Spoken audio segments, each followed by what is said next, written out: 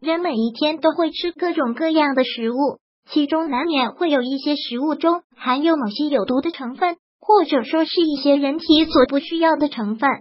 这些废物大部分都是需要通过肝脏来排出人体外的，所以有一个好的肝脏是非常重要的，这样才能够保证人体各个机能的正常运行，也能够使人身体长时间保持在一个较为健康的状态。那么，我们能否通过吃菜来把肝脏洗干净呢？第一，蒲公英，这是一种路边随处可见的小植物。尤其在中医领域，它更是有着“草药皇后”的美称。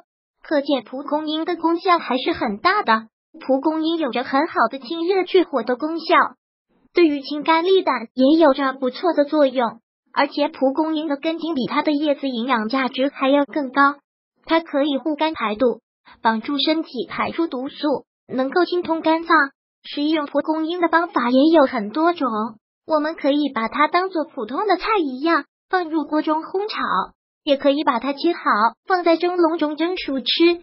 当然，也可以把它作为配菜与其他食物一起食用。不过，我觉得味道最好，能够最大程度发挥它的药效，的还是把它风干之后泡水喝。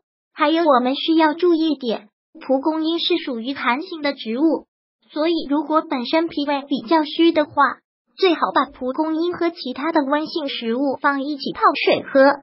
这样能够最大程度上的趋利避害。我们也可以把蒲公英和玫瑰花放一起泡水喝，这样能够有着很好的美容养颜的效果。另外，葡萄也是一个很好的护肝食品。葡萄中含有许多的生物活性物质，这些成分能够消除体内的自由基，对于保护肝脏都有着非常好的作用。所以，那些本身肝脏就不是很好的人。平常多吃一些葡萄，还能起到辅助的效果。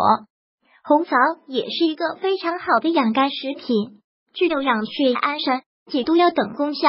一般来说，女性大部分都有吃红枣的习惯，因为红枣有着很好的补血功能。